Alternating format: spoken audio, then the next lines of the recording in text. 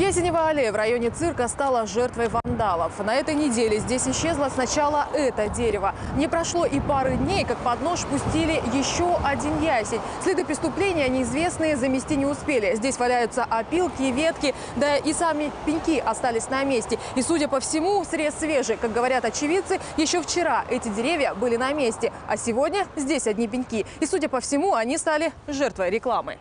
Два дерева ликвидировали почти под корень, у соседних спилили ветки. И это не санитарная обрезка зеленых насаждений. Эти ясени загораживали рекламные щиты, и от них было решено избавиться. Но кто принял такое решение, пока неизвестно. Администрация города от этих деревьев открещивается. Там заверяют, что порубочных билетов на эти ясени не выдавали. И обещают разыскать лесорубов через полицию. Только аллее это уже не поможет.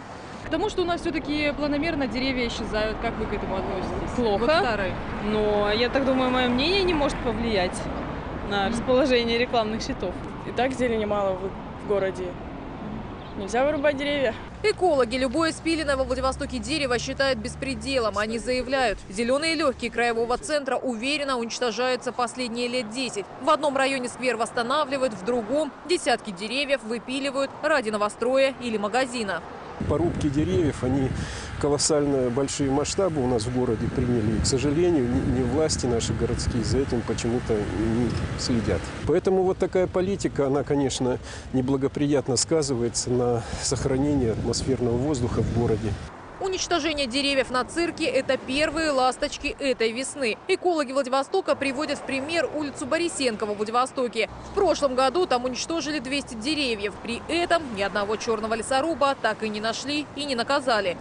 Демонтировать этот рекламный щит можно буквально за пару минут. И вскоре уже никто не вспомнит, что он здесь стоял. А вот, чтобы вырастить такое дерево, таких же размеров, потребуется минимум лет 20. А значит, эта аллея в районе цирка уже никогда не будет прежней. Татьяна Гнездилова, Максим Евсеев, Панорама.